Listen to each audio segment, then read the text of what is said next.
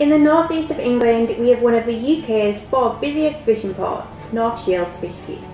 However, much of the fish landed here is already contracted for export before it's even reached the shore.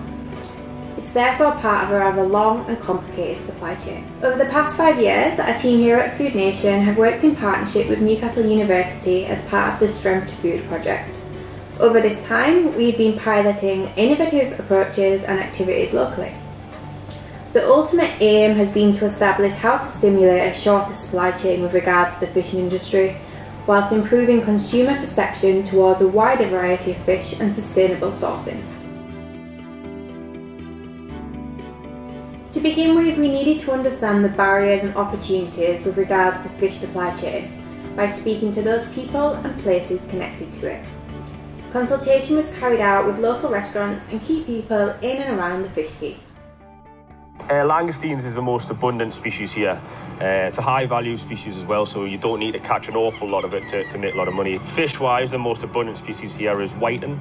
Really, langoustines are getting a little bit more popular, but we still export 95% of what we catch here. On side, uh, seafood consumption in the northeast is typically underrepresented on household and restaurant menus, both in terms of quantity and variety.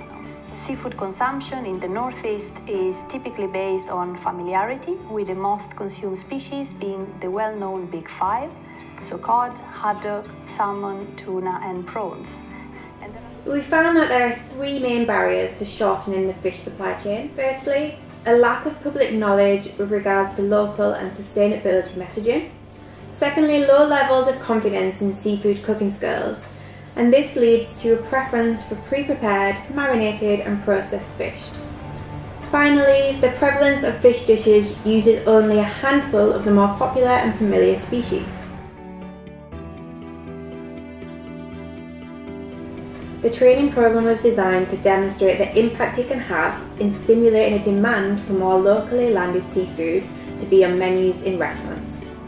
Hi, my name's Christy. Um, I am the Youth Programme Manager of Food Nation and I look after um, a number of different projects including our Seafood and Catering project which gives um, employability skills uh, to young people aged 16 to 25, teaching them lots of seafood based um, preparation and cooking. I get the trainees to come up with ideas and a theme for what they would like to make over 12 months, the following activity took place and was supported by our local North of Tyne Fisheries Local Action Group.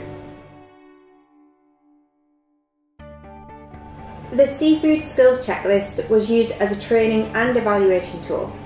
It enables us to demonstrate a large increase in confidence after just one exposure to learning a new skill. The checklists are a tool that can be used in restaurant settings to establish what skills are already existing in the team and what skills are missing, therefore triggering a training need.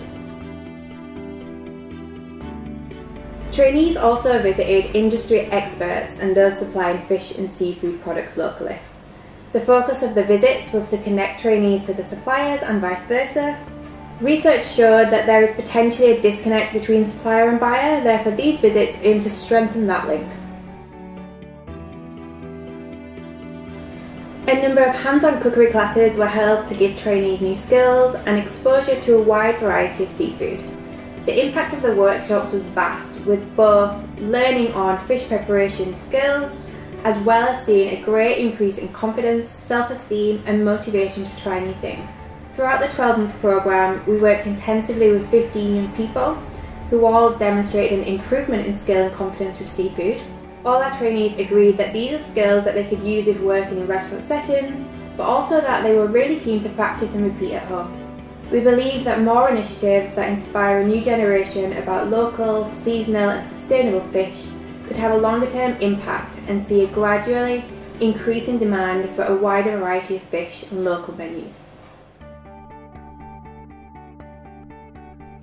Seafood Supper Clubs took place at a local restaurant and were hosted by our seafood trainees. The aim of the events was not only to provide the trainees with an opportunity to use their new skills, but also acted as a consumer engagement activity.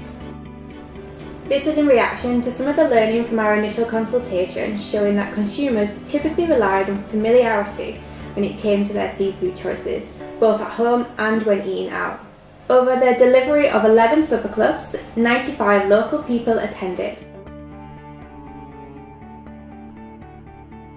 The events achieved the outcome of inspiring people to try new fish dishes and increase their motivation to cook and eat a wider variety of seafood. Prior to attending the supper club, only 14% of people regularly cooked seafood at home. Following their attendance, 100% were inspired to eat a new type of seafood that they would otherwise not have eaten, and 43% stated they would be attempting to recreate some of the dishes in their own home. The supper clubs are therefore a great way to increase consumer exposure of a wide variety of fish and seafood and therefore inspire them to make it a choice and option for them in the future. As a result of COVID-19, Food Nation were no longer able to deliver face-to-face -face cookery classes and therefore developed home recipe kits, some of which included fish and seafood focused dishes. Each recipe kit provides households with ingredients, recipe cards and online recipe tutorials, which are accessible on the YouTube channel Food Nation UK. Over 4,000 recipe kits have been provided and have demonstrated the willingness of the public to try new things when there is no associated risk factors, such as the perception of cooking from fresh ingredients being expensive. The impact of the recipe kits has been vast and has transformed the way people think about cooking with fresh ingredients. Obviously we get the recipe kits from you guys weekly and it's very much opened my mind to like whatever dish you're throwing in now, I can adapt it. A lot more fresh ingredients instead of oh can we just buy this and have it in the freezer? Or yeah i think on on the whole everybody in this household has started to eat a lot healthier because of it.